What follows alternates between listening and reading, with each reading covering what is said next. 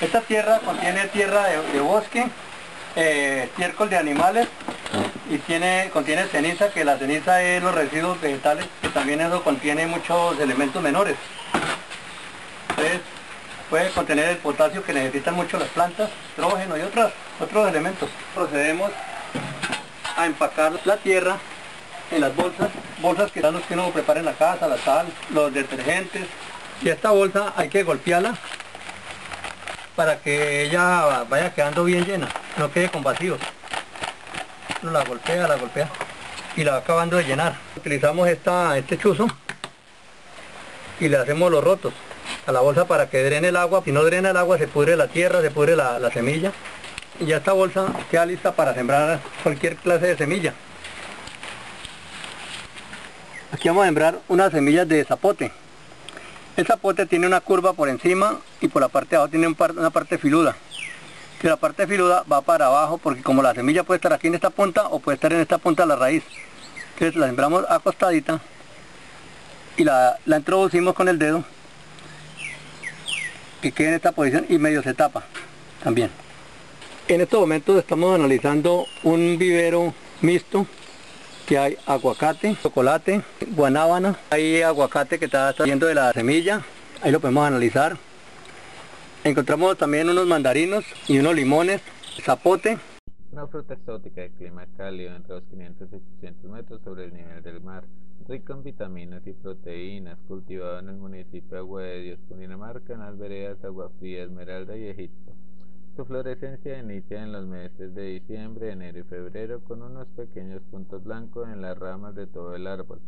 Van creciendo mes a mes. Al llegar a un punto las flores expanden su tamaño y abren mostrando los pétalos amarillos y desde su centro un pístilo para lograr la polinización.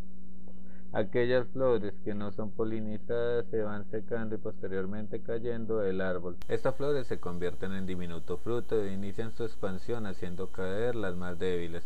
Durante toda la cosecha se ven abortos de flores, pequeños frutos y frutos maduros en la sumatoria un 50% del total producido. En estos momentos voy a a un árbol de zapote. Llevo mis elementos adecuados para irme a la copa del árbol. aquí empleamos la escalera, las horaicas y empleamos una cabulla para subir la manila al, al gajo, un gajo adecuado para uno poderse sostener, ¿no? Esta manila se amarra a esta cabulla, una cabulla plástica, se amarra y se va subiendo por cualquiera de los dos extremos va subiendo la cabulla hasta que llega al gajo principal. Y retorna la punta de la cabulla a las manos nuevamente del, bajador de zapote o de cualquier fruta, ¿no? Se recogen los dos lazos de las dos puntas, o sea, el mismo lazo de las dos puntas. Y comienza uno a subirse. A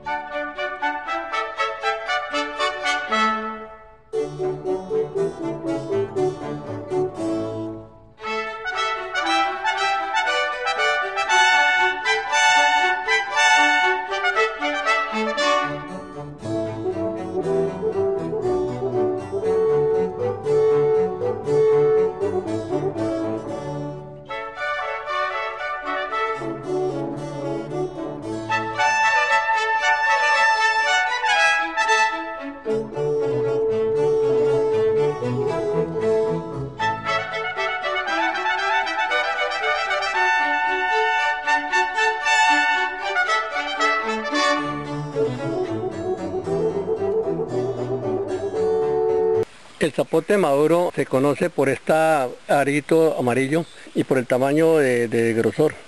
Para comérselo ustedes se puede tapar en esta forma. ¿Sí? Y el otro zapote, como no tiene el pitón, nos toca emplear un cuchillo y hacerle el corte en cruz.